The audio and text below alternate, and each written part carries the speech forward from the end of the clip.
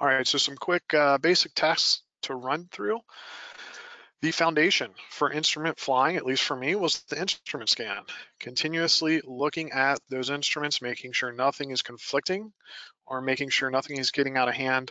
This is something you can easily practice in a simulator. It's a muscle uh, that will eventually get weaker and weaker. So five minutes here, 20 minutes there is something to keep us fluid and proficient.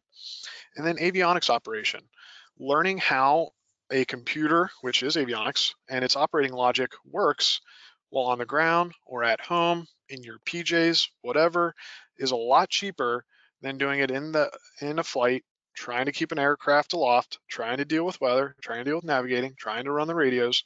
It's a lot better to learn how turning the dial four times and hitting a direct to button or what happens when you hit flight plan three times.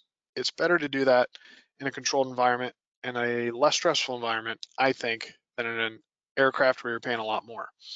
Uh, and I wanted to highlight this real quick. This is an update from last week on Microsoft Flight Simulator. They have updated the Garmin GNS 430 and 530 on all their digital aircraft.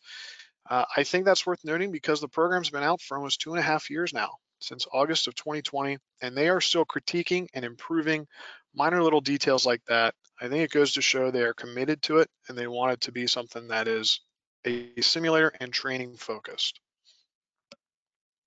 Autopilot operations, this is something that is very helpful to learn in a simulator. It will keep us safe uh, and will reduce our workload when flying in the instrument realm. So learning what happens when you hit that heading bug, what happens when you change your vertical speed and you activate it versus altitude, intersect, all the above. It's great to learn how an autopilot works in a simulator and then bring that into the real aircraft.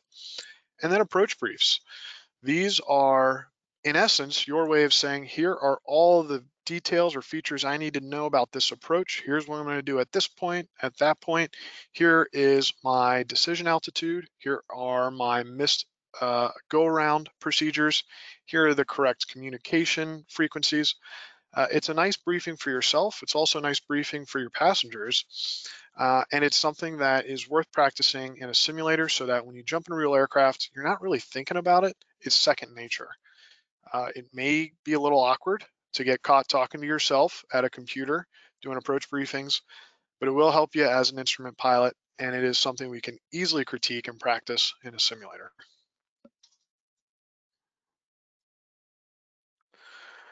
Let's talk about constant rate climbs and descents.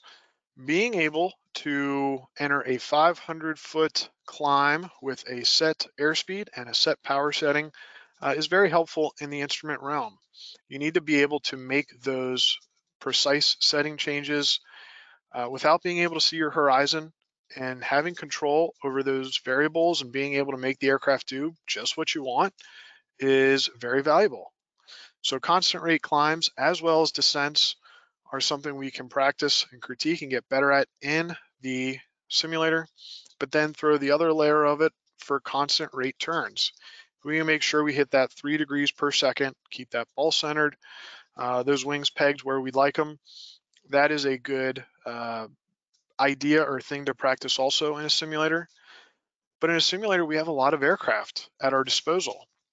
And for the sake of training, I really only fly in a Cessna 172, which as you can see, a standard rate turn at about 100 knots true airspeed is 15.38 degrees of bank angle.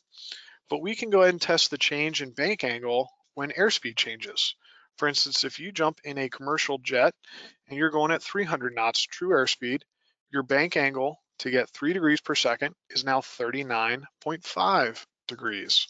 Changes quite drastically. Imagine what it would require in the SR-71. This is a great thing we can test and better understand in a simulator because we can go test in those faster aircraft and get a better understanding of how constant rate turns are influenced by our speed and our bank angles.